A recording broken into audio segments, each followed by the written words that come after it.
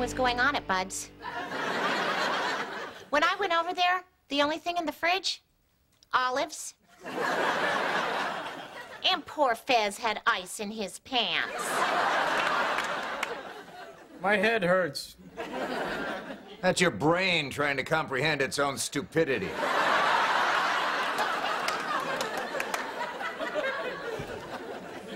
I mean, what kind of parent leaves a bunch of teenagers alone with a keg? A fun one? Hey, Jim Beam. Can it?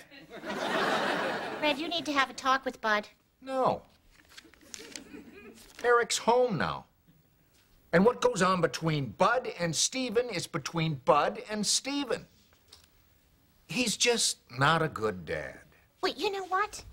I agree. So, I think we should get in the car, pick up Steven, and, and move him back in with us and feed him.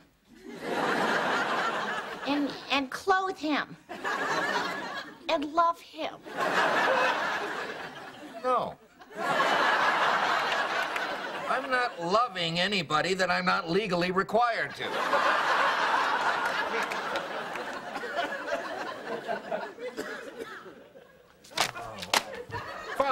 I'll call Bud. And Eric, I'll deal with you later. Thank you.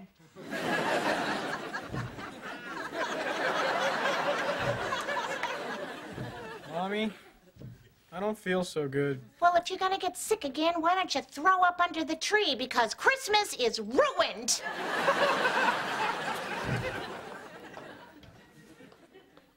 Oh, no.